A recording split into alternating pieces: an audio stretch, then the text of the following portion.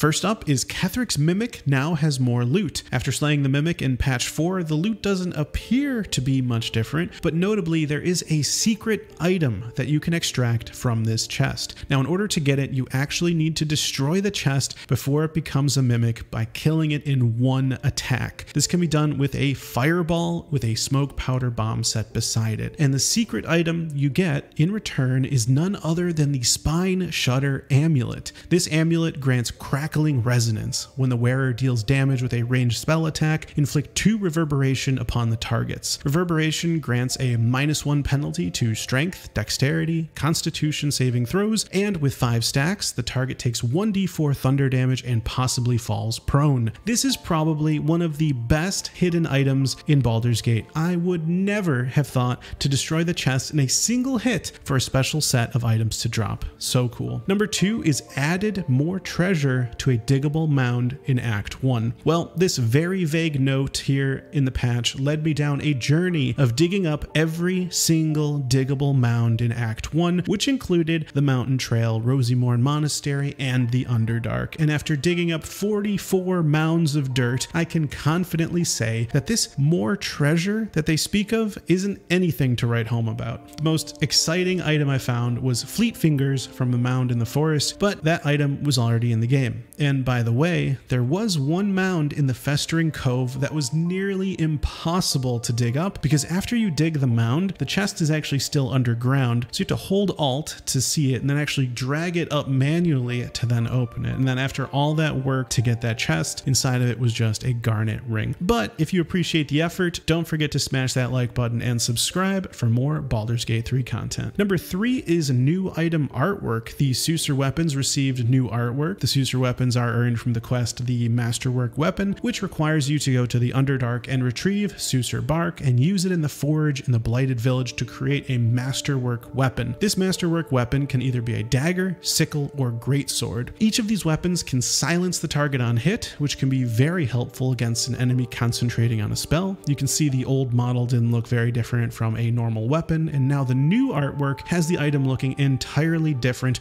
almost resembling the Sussur tree. And while the weapon doesn't deal incredible damage, the silence is useful, and I've actually read online to always choose the dagger so you can throw it and silence an enemy at will throughout the game. However, after testing this, not only does throwing a Sussur weapon at an enemy not silence them, the dagger specifically disappears permanently after throwing it, so I wouldn't count on this weapon being something you hang on for the entire game, like it sounds like. Also, the Spider Lyre from Minthara also has new artwork and looks more arachnid-like than before. Really nice visual updates in my opinion. Number four is a clown in town. Getting wet will remove the pixie's curse. What pixie curse? Well, in Act 2, when you retrieve the moon lantern from Kar'niss, you can use the lantern to begin a dialogue with a pixie inside. Now, most dialogue options lead to freeing the pixie, which is what I did in my first playthrough, but if you go out of your way to use the device to torture Dali the pixie, torment her, etc., and then eventually smash the lantern, she actually escapes and will still give you the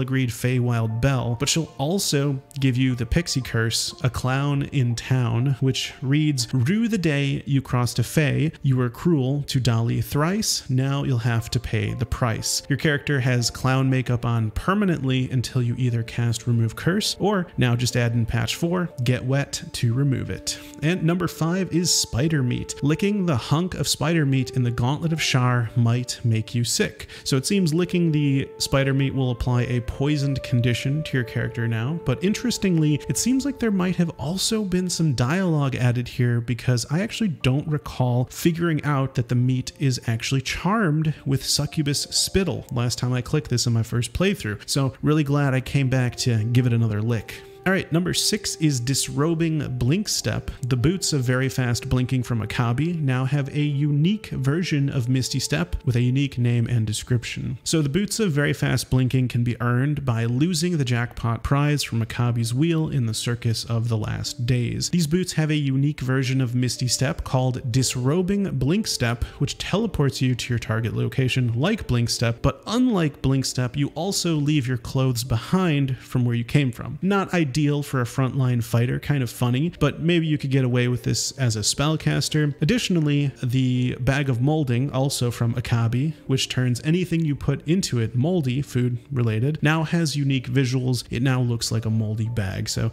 nice updates there as well. And then number seven, we have the soap bar, one of fans' most anticipated changes. You can now use sponges and soaps to clean up your party members, removing grime, blood, and bad odors. So the trick to using soap, which you can't use when you first pick up, I believe it's a bug, is to actually stack two bars of soap together and then split the stack. Then the soap will be usable. Shout out to Reddit user Paui Dokami, who just wanted to clean their characters but ended up having the whole camp aggro for throwing soap, but eventually figured it out for us all. All right, number eight is suicidal Gondians. So NPCs will now give proper consideration to Steel Watcher's self-destruct area. So the suicidal Gondians won't Misty Step directly into the self-destructing Steel Watcher anymore? Or is it that after their thoughtful consideration, they'll decide to still do it? This is actually a much needed change because I swear these Gondians have no respect for life. They truly do not want to be saved, it seems like. All right, number nine is Act 3, Summon Quasit. So you can now learn the Summon Quasit spell via the Scroll of Summon Quasit found in Act 3. In the Vault of Sorcerous Sundries, also known as the basement, there is a hidden door that leads to a peculiar lamp. Inside, it is filled with treasure and a scroll of Summon Quasit. This scroll previously could not be used to learn the Summon Quasit spell, but instead was a one-time use. But now you can actually learn it. Now, unfortunately, this Quasit in Act 3 isn't as cheeky as the one in Act 1, so there's no dialogue to be had with it, and frankly, it's a bit weak for Act 3, but it does help a lot with escaping from that peculiar lamp. And number 10 is increased difficulty. Patch 4 has added two animated armors to the combat with Bernard in the Arcane Tower on Tactician difficulty, supposedly. However, these are actually present in all difficulty modes I've found. Not only that, but Cazador can now turn into a swarm of bats and move around faster, which is also on all difficulty modes, which makes him immune from being pushed off of the edge and dying. So there are difficulty changes that affect all game modes. However, there were several changes in patch 4 that specifically increased the difficulty for players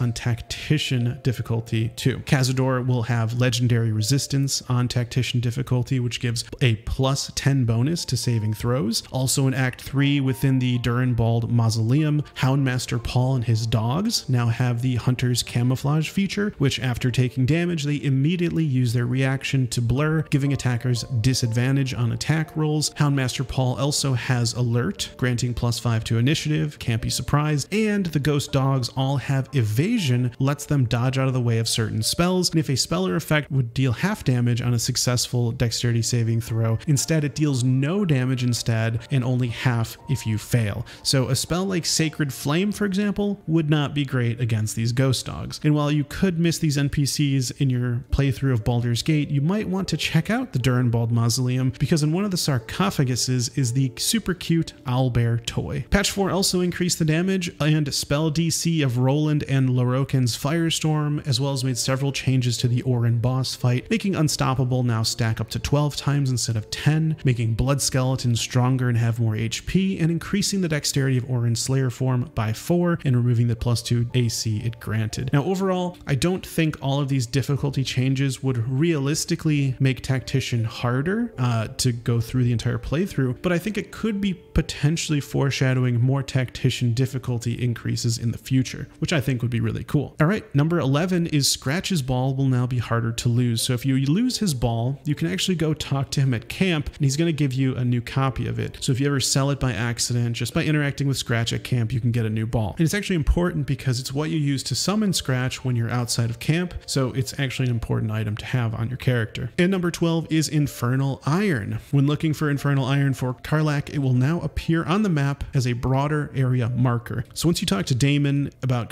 Karlach, you'll now see infernal markers on the map and minimap like quest markers. This will certainly make it much easier to find infernal iron throughout your adventures, especially since most of the time it's kind of tucked away in the corner, hidden, and so this is going to give you a nice clear marker indicating where you can find it. And number 13 is Artillery Strike. There is a button on the balcony of Ramazith's tower that will now correctly fire bolts of flame towards the city below. So in Act 3, Ramazith's tower, about a few floors from the top top has a balcony and has a weave button. This button is labeled artillery, and when pressed, it appears the tower will use fire breath to now shoot flames at the city down below. Doesn't appear to do anything, but it is very cool to kind of see that happen. It seems like it hits a house down there. And then number 14, we have bloated corpse. Patch notes say that a bloated corpse was added in an empty grave in the lower city careful. So this corpse is pretty hard to miss. It's glowing green and can be found in an open grave. Clicking it releases a vile poison and the corpse dissolves and it appears that's all it does at the moment. Number 15 is Sweet Stone Features. When you purchase a statue from Boney in the circus, you can now choose to make it look like you in full equipment, in camp clothes, or naked. Pretty sweet that there are now three dialogue options for how you want your statue and of course we all know which option we'll be choosing. And finally at number 16 we've got look at those cheekbones. The statue you can purchase from Boney now casts a unique version of Bless with a custom description and name. Also, the statue itself now has a condition describing how it blesses its owner. So really it's not Bless anymore, but now it's called Sweet Stone Features as the permanent buff, and the statue has look at those cheekbones, which is granting you that buff. So I think this is a cool way to kind of make the distinction between Bless and look at those cheekbones. Then finally at 17, we have Gauntlet Yeva now has more things to say after you free her from her pod in the colony. So within the Mind Flayer colony in Act 2, there's an area called the Tadpoling Center. There you can choose to free everyone inside the pods, which also includes freeing living hostile Mind Flayers that will attack you, but you'll also free Yeva, and you, then you can choose to purge them all, which would kill everyone in the pods. So if you choose to release them, you'll have a fight on your hands, but if you succeed that fight, you'll get access to this new dialogue with Yeva, and personally, it's not much, probably not worth it, but you can learn a bit more about Duke Ravenguard from her. And those are 17 hidden changes made in patch 4 of Baldur's Gate 3. Find anything else odd or interesting since patch 4? Let me know in the comments below. Thank you so much for watching, and I'll see you in the next video. Take care.